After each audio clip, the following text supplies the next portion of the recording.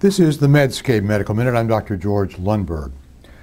Previous work in the Netherlands has shown that percutaneous coronary intervention, PCI, can induce embolization of atherothrombotic material with resulting impaired myocardial reperfusion and that thrombus aspiration before stenting can prevent this effect. In this study reported in The Lancet in 2008, 12 investigators analyzed by intention to treat cardiac death or non-fatal myocardial reinfarction after one year of 1,060 randomized patients. In the group treated by conventional PCI, 6.7% suffered cardiac death versus only 3.6% in the thrombus aspiration group. The data for cardiac death or non-fatal reinfarction after one year were 5.6% versus 9.9%.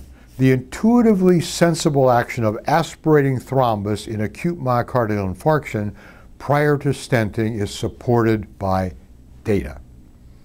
This article is selected from Medscape Best Evidence. I'm Dr. George Lundberg.